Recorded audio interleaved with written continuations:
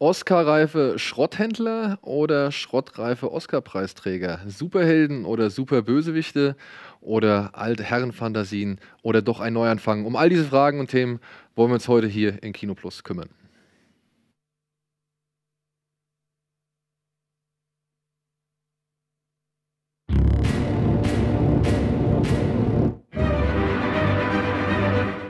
So, herzlich willkommen. Die beiden Herren hier haben schon eben geschmunzelt, was ich hier wieder von, für eine Eloquenz von mir gebe.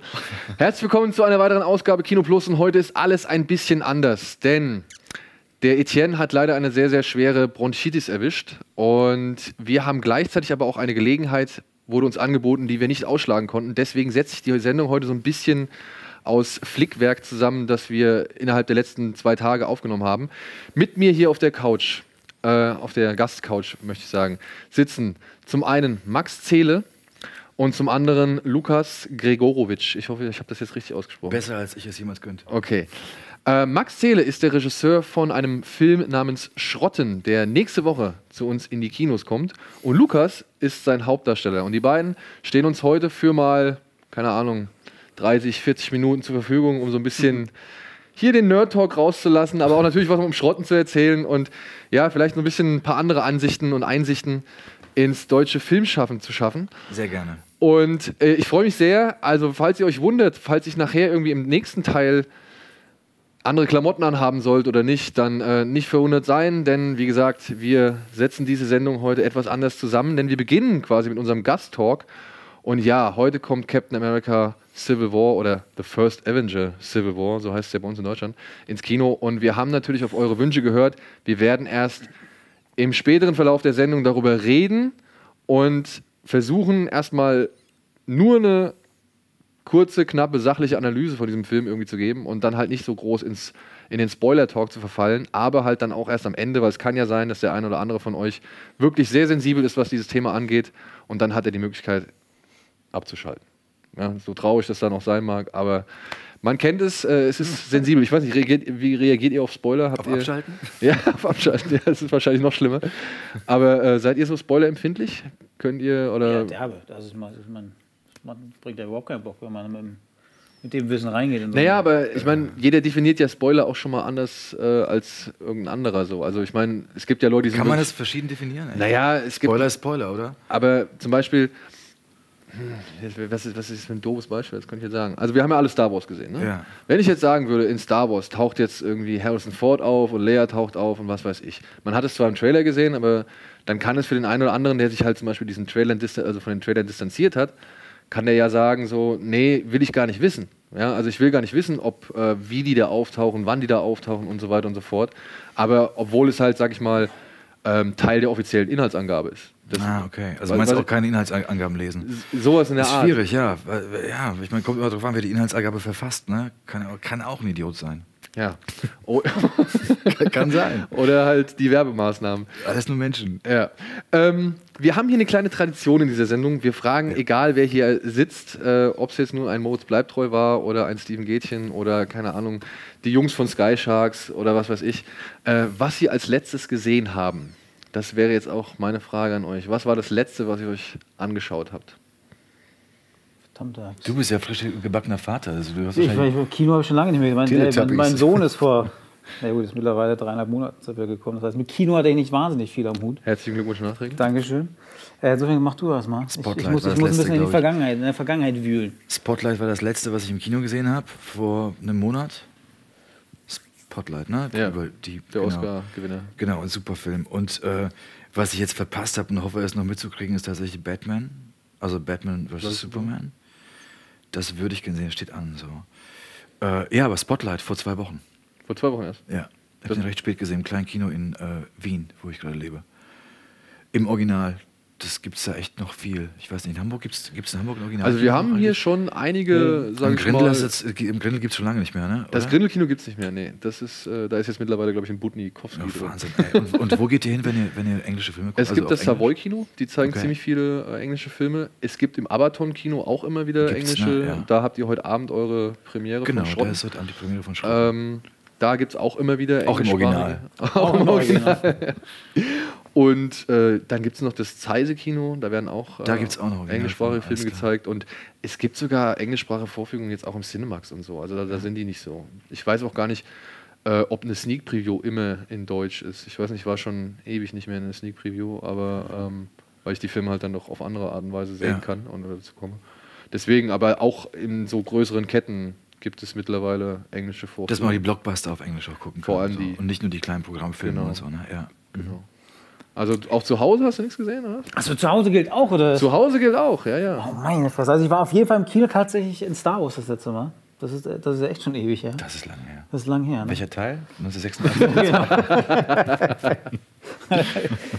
äh, äh, verdammte Axt. Äh, äh, ich habe nee, hab keine Ahnung. Ey ist wahrscheinlich auch noch nicht passiert, ne? dass man nicht weiß, dass ein Film angesehen hat zum Schluss. Ja gut, mit Star Wars bin das, das ist total normal. Das fällt dir gleich an, wenn die Sendung vorbei ist. Ja, verdammt nochmal, der, war gut. Wirklich Und der, und der war gut, der Film. Ähm, ich komme da noch drauf zurück. Ich, ich kann es ja nicht sagen. Wie fandest Star Wars? Ich fand Star Wars gut. Ja? Ja. Also jetzt auch. Ich fand es ich echt gut. Ich, also ich, ich habe mich echt gut unterhalten gefühlt. Es ist natürlich so ein bisschen, das ist ein neuer Yoda auf einmal drin gewesen mit der, mit der äh, ich weiß nicht, war es eine Bibliothekarin? Katana. Ja, genau. Das also sind ja, man hat einfach die Elemente wiedergesehen, die, die man einfach schon kannte. Aber ich habe mich echt gut unterhalten gefühlt. Insofern ja. war ich total fein mit dem Film. Bis auf die Frisur von Harrison Ford. das hast du ja, eben schon genau. gesagt. Ne? Das, er äh ging gar nicht. Der hat irgendwie echt ein Frisurenproblem. Also man sollte ja selber schön die Klappe halten, aber irgendwie Harrison Ford hat echt irgendwas mit seinen Haaren. Gut, der Mann wird halt auch nicht jünger, ne? So ist es. Aber da muss man halt so stehen. Und der sieht halt irgendwie so aus, der hat so einen Schnitt von so einem 25-Jährigen, der aber auch so ein bisschen aus der Form geraten ist. Und das passt irgendwie nicht. Also es passt nicht zu Han Solo. Ja. Han Solo hätte irgendwie anders altern müssen, finde ich. Aber naja, what might I say? Aber wo du jetzt eben, äh, wo du jetzt eben halt auch angesprochen hast, dass du den Original gesehen hast, bist du so ein O-Ton-Verfechter? Also ja, total. Ja? Total, ja. Auch wirklich totaler, wirklich echt radikal da drin. Ich halte es auch echt schlecht aus, tatsächlich, den Film. Ich fühle mich dann irgendwie um, ich fühle mich, fühl mich verarscht. Verarscht? Ja, wirklich, weil die Stimme ist weg und die Stimme macht, also vielleicht ist es auch meine Eitelkeit als Schauspieler oder dass man irgendwie so drinsteckt. Die Stimme macht es ja genauso, macht ja die Person genauso aus wie, wie, äh, wie alles andere auch. Also die Augen sehen, sehen den Menschen und die Ohren hören den. Vor allem, wenn man eine ganze Weile mit, mit O-Ton geguckt hat, dann wirkt das ja auch unglaublich fake, wenn man auf einmal eine deutsche Stimme ja, und das, ich, ich habe ich hab auch, die, hab auch die Theorie, dass eine ganze Generation von deutschen Schauspielern nämlich meine, echt versaut ist durch die. Äh, geh durch ran. Nein, nein, das ist okay, auf, gar keinen Fall. auf gar keinen Fall. Echt versaut ist durch, durch, äh, durch Synchronisation, weil sie denken, man spielt so. Wenn man jetzt, jetzt, keine Ahnung, man nimmt ein banales Beispiel von De Niro und seinen Synchronsprecher zum Beispiel. Und das, dieses Aus, natürlich ist es eine tolle Stimme von, äh, wie heißt der Mensch, der Christian. Der, oh ja, ja. Ich, oh, ich Berühmt, berühmte, berühmte Stimme, die kennt jeder. Wahnsinns tolle Stimme, toller, toller Erzähler und so. Aber der spricht das halt so aus. Und wenn man De Niro dann spielen sieht, dann ist das alles viel beiläufiger und viel nebensächlicher und auch vernuschelter und so. Und nicht so ausgespielt.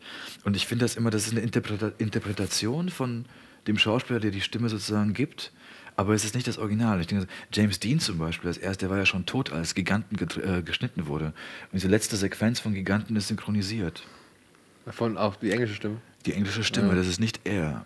Aber wie, wie siehst du das dann als Schauspieler? Also ich meine, du hast jetzt gesagt, Robert De Niro spricht so beiläufiger oder nuschelt auch mal was weg. So, ja? Ich meine, ähm, oder vielleicht dann auch als dich als Regisseur, ist es dir wichtig, dass dass eher die Authentizität dann dieses, dieser Figur gewahrt wird. Authentizität. Authentizität. das ist ein verdammtes Wort. was meinst du eigentlich? Ich weiß, ich oder, oder ist man dann doch noch mit einem Ohr beim Zuschauer, dass der halt auch was verstehen muss? Ja? Na, ich glaube, das ist, äh, äh, also ganz wichtig ist, dass es authentisch bleibt. Also, weißt du, da, ich glaube, man muss ein bisschen abwägen, was ist wichtig, was der Zuschauer verstehen muss. Und, äh, und was ist einfach, was passt einfach auch für die Rolle, wenn er was wegnuschelt oder wenn er was wegspielt. Der Schauspieler, der ist ja in dem Moment die Rolle. Und wenn er in dem Moment das Gefühl hat, er redet so, dann ist das, dann ist das auch richtig. Wenn man allerdings natürlich das Gefühl hat, muss ich als Regisseur dann aufpassen, denn wichtige Textstellen sind ja einfach fürs Verständnis der Geschichte wie die sind. Da muss man gegebenenfalls ein bisschen drauf achten. Aber ansonsten gibt es ja nichts Besseres, wenn ein Schauspieler so verinnerlicht und äh, sich dann auch sicher ist, wenn er was schon wegnuschelt, weil er der Meinung ist, dass das dann gut passt. Ja.